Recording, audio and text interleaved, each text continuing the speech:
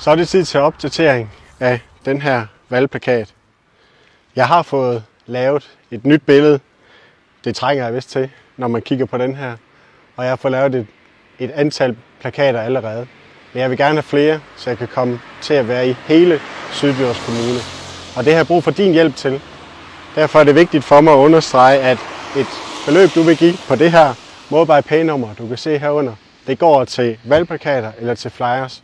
Kun til mig, og kun til at få mig øh, ud til så mange som muligt i hele Sydjyllands Kommune. Jeg håber virkelig, at du vil give et bidrag. På forhånd tak.